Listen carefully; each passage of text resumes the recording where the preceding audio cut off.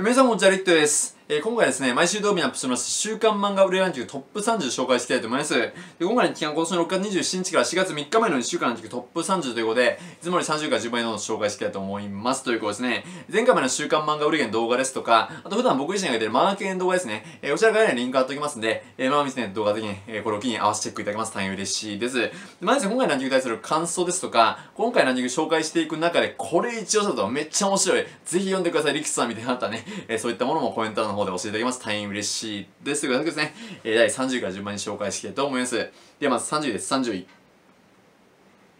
えー、ワンパンマン26巻という子ですね。えー、ワンパンマン最新巻、これにて5回目のランクインという子で、えー、15,924部売れまして、累計で29万5,311部、えー、次回で30万部累計超えてくるのかなという感じになっております。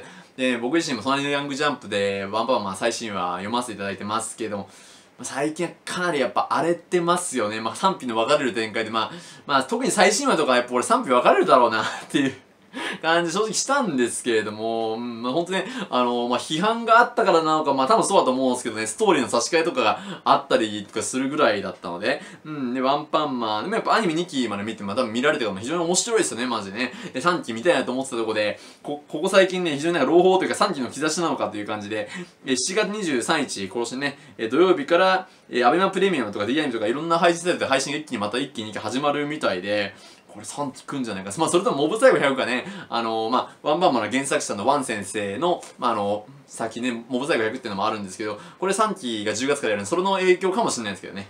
あの、アニメ、ワンパンマン3期も心待ちにしつつ、また、まあ、原作の最新話、まあ、原作どうなっていくのか、それもね、えー、楽しみにしつつ見ていきたいなと思います。はい。では、次29です。29位。えー、スキップビート48巻という子ですね。えー、こちら17,082部売れまして、あ、28ですね。えー、今回は、あの、同率でもう、もう一作28があるという感じですけれども、えー、スキップビートは82,741部売れまして、2週連続ランクインという感じになっております。で、やって28ですね。同率で。えー、17,082部売れまして、ダイヤのエースアクト2 31巻ということで、こちら累計で123,738部、3週連続かな、えー、ランクインとなっております。では、27位です。27位。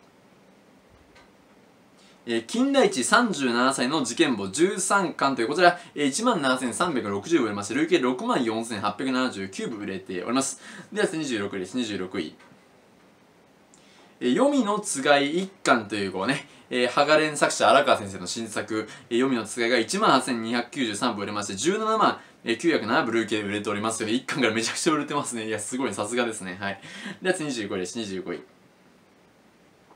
えー、王の獣10巻という子ね、こちら18,377部売れまして、累計で、えー、36,506部売れておりますということで、これに関しては、少女漫画誌ですね、えー、チーズさんで連載されている作品で、黎明のアルカナって作品、ちょ、僕はご存じなくて申し訳ないんですけど、えー、こちらの世界を受け継いだ作品ということで、男装の獣人少女×、えー、王子の高級ファンタジーという感じになっているみたいです。はい。では次24位です。24位。えー、名探偵コナンゼロのティータイム6巻名探偵コナンスピンオフゼロでめちゃくちゃ売れてますね。やっぱね、18,972部売れまして、累計で17万4168部というスピンオフにしてもとんでもない売り上げになっております。では23位です。23位。えー、推しの子8巻というかね、えー、こちら1万9016部売れまして、累計で13万7017部という順調に売り上げを伸ばしております。では22です。22位。えー、魔法科高校の劣等生、士族会議編5巻というこうね、なんかこれ原作の17から19巻ぐらいこのパートなのかなで、その魔法科のコミカライズ5巻の方が、えー、21,962部売れまして、えー、累計で22,120部という、こちら初動ですね、えー、売れております。で、21位です、21位。えー、ゴールデンカムイ30巻でね、えー、24,373部売れまして、累計で26万5,819部売れております。ね、まあ、いよいよもう最終巻も発売になった、まあ、なるぐらいかな、というところですけどね、まあ、非常にどんぐらい売れるのかもちろん楽しみですね、完結。なんかあのー、エピソードも若干変わるというか、なんかその、ね、追加シーンみたいなのがあるみたいな話も原作者の見ましたんで、そのね、えー、読むの楽しみだと思います。はい。では、ね、トップ20入っていきたいと思います。では、第20です、20位。えー、早々のフリーレン8巻という子はね、えー、こちら26,670部売れまして、累計で24万4611部、えー、売れております。また、すがですね、早々のフリーレンめちゃくちゃ売れてますね。はい。で、あって19位です、19位。えー、異世界居酒屋ノブという子ね、えー、こちら15巻の方が26,798部、こちら初動ですね、えー、売れております。これに関してはコミカライですね、もともとナロー原作の作品でアニメ化とかもされてましたね、こちらに関してはね。テレビドラマ化もされてるかという子はね、コミカライズが、えー、19位となっております。では続いて18です、18位。えー、スパイファミリー3巻という号ね、えー、こちら29,178部売れまして、累計で195万624部売れております。スパイファミリーここに来てね、初めてランクインというところで、まあ、前回ね、今10週連続ずっとランクインしたんですけど、初めてね、あの、ランク外になってしまった関数、2巻3巻がランク外になって、あ、部数上がってますね。前回は2万7022部入れてて、で、今回2万9178部。まあ、ついに最終回を迎えてからの多分ね、まあ多分全話見て、あ、これ買うしかねえと、肉のように待ちきれねえって人が買ってるんですかね。ま、2000部売り上げ伸びてますってこれね。えー、3巻が入ってきました、ランキングね。はい。では続い17位です、17位。続きます。スパイファミリー2巻ということで29,366部になりまして、累計で204万2933部、2巻のもね、累計で200万まで前回かな、で、超えましたけれどもね。こちらも売り上げ上がってますね。すごいな。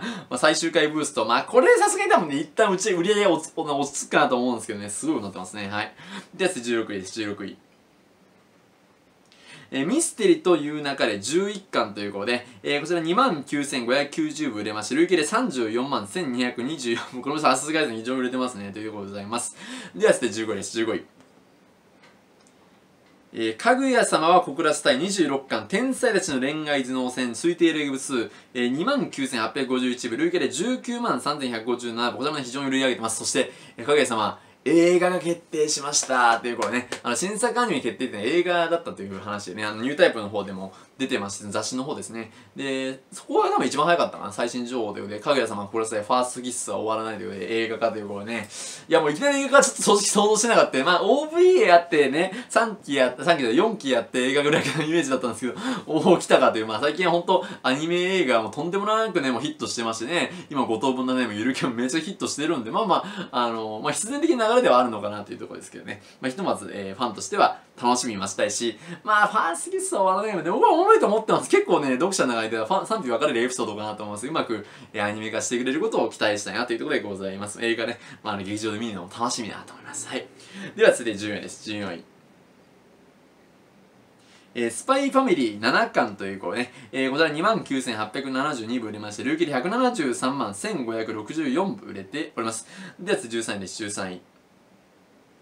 えスパイファミリー6巻というこれで3万477部売れまして185万3528部累計で売れておりますでは12です12えスパイファミリー1巻というかスパイファミリー続きます。えー、3万966部売れまして、累計で217万1398部ということで、ね、意外となんか累計発行部数で2500万を突破したみたいになってから出てないですよね。確か2500万、2100万かな ?2500 万は嘘だと思います。多分2100万だと思うけど、突破してが出てないですけどね、その2500万部とか3000万部突破ってニュース出てきてもおかしい。意外と出てこないですけどね、まあ情報待ちたいなと思いますけどね、めちゃくちゃ売れてます。はい。では続いて11位です、11位。えー、スパイファミリー5巻というこうね、えー、こちら3万1406部売れまして、累計で193万5261部、えー、売れております。スパイファミリー連続しますね。では、ここトップ10やっていきます。第10位です。第10位。スパイファミリー4巻ということで 3万1813部売れまして、累計で199万7918部。4巻ももう200万部いけます？えってか、え ?199 万？195万？あ、4巻の方がね、累計売れてるまあ1から3巻セットでもともと売ってて、それ結構売れてたんで、まあ、その分もあるかな。4巻の方がね、一足先に200万部到達そうですけどもね。えー、4巻、まあ実質は3巻の方がもちろん売れてるんだと思うんですけど、もちろんというか、あんな大差ないと思うけどね。えー、ということで、10位となってます。では次第9位です。第9位。えー、スパイファミリー8巻というこうね、えー、3万2803部売れまして、累計153万2296部、こちらもね、えー、150万も超えてきましたでございます。えー、ということで、ここまでね、えー、なんと、1、2、3、4、5、6、7、8、1から8巻までランクインします。最新巻のみとなってますが、果たしてということでね、えー、次第8位。スパイファミリー9巻最新巻がランクインしまして、なんと、前回は惜しくもね、全巻トップ30入りならずでした。今回再び、全巻トップ30入り、いや、優秀の美を飾ったと言っていいんじゃないでしょうか。まあ、そういう意味で最終回を迎えた週でしたけどね。えー、前回のトップ30いやー前回も正直入っててほしかったですね。もうアニメやってる間全部もう毎週が前回のトップ30に入ってましたよっていうのは正直言いたかったんですけどちょっと残念でしたけど前回はねあの惜しくもねあの2巻ほどランク外になってしまいました。今回は、えー、ランクインというこれね非常にいい終わりを迎えたんじゃないか。まあ、こっからの売り上げ、まあちょっと落ち着くとは思うんですけれども、まあ、どん、どんな風になるのか楽しみですし、また2クール目がね、えー、10月から控えてますね。また売り上げバーンってくるんじゃないかなと、非常に、えー、楽しみですね。原作のもちろん楽しみに、えー、読んでいきたいなと思います。はい。では、第7位です。第7位。えー、ふつつか、ふつつかな悪女ではございますが、ということで、えー、これに関してなんか読み方めっちゃ難かったんで、えー、っと、どれだ？あ、これか。えー、すぐ長祖取り替えでっていうのが、読み仮名のやつはちょっと怪しいんですけどね。えー、こちら3巻の方が、えー、7第7位と、えー、34,884部売り上げておりますというで、こちらが初動ですね。えー、というところで、えー、一輪車ノベルスの大逆転高級取り替え伝がコミカライズという、こうね、まあ、非常に人気作品見て、もともとなるほどもやってたのかな。で、まあ、あのー、一輪車ノベルスで、えー、ラノベから書籍化されまして、また今度はコミカライズということで、非常に人気作品という感じみたいですね。はい。では次第6位です。第6位。えー、週末のワルキューレ15巻というこうね、えー、こちら4万3489部売れまして、累計で18万4919部、もう早くも20万部近く累計でも売り上げております。いやもうね、今手元に置いたんですけど、早く読みたいなって すごいですけどね。まあこの動画終わった後に読もうかなと思います。はい。では続いて、ここからトップ5やっていきます。第5位です。第5位。えー、ブルージャイアントエクスプローラー6巻という、これ僕初めて来ましたね。こちら、えー、49,128部という、こうね、非常に初動も売れてますね。え、これ何者 ちょっと待って。これ何者小学館の作品ですね。で、初動で4万9000部って結構売れてると思うんですよね。ブルー普通にノーマークやった。ジャイアントエクスプローラー。これか。ビッコミック連載。岳みんなの山の石塚真一先生が描く渾身の最新作というこうねビッグコミックもめちゃくちゃってか小学館結構サンデー以外のね連載層がすごい熱いなっていうイメージがあるんですけれどもビッグコミックあビッグコミックスピリッツがやっぱ強いのはねビッグコミックあゴルゴ13とかあるか。ビッグコミックスピリッツがめちゃくちゃ強いんですよね。これ青鷲とかダンスダンスダンスールフート探偵とかねうん、めちゃくちゃ強いんですよ。九条の滞在とか、うん、すげえ強いなと思ってたんですけど。いやーでも小学館ってやっぱ結構強いっすね連載陣全体的にね。うんブルージャイアント。あもともとブルージャイアントっていう作品があってで続編なのか。あ第3部。へえ全然知らなかった。すみません。ねえー、今回アメリカもともとえー、仙台と東京第一舞台として第2部がヨーロッパ第3部がアメリカを舞台として2020年11月号からじゃあ11号から始まっているというところでえー、漫画大賞2016第3位2017年第62回小学館漫画賞第20回文化庁メディア部芸術祭漫画部門大賞受賞。2022年6月時点でシリーズ累計発行部数840本第2作品してすみません。あブルージャイアントか。なるほど、ね、そういうことか。ということでブルージャイアントから始まってまあ今じゃもう30巻近くじゃシリーズとして連載されてるんですね。あそういうことか。なるほどね。ビッグコミック連載中。大人気作品でした。すいません。しっかり覚えてきます申し訳なかったです。はい。では第4位です。第4位。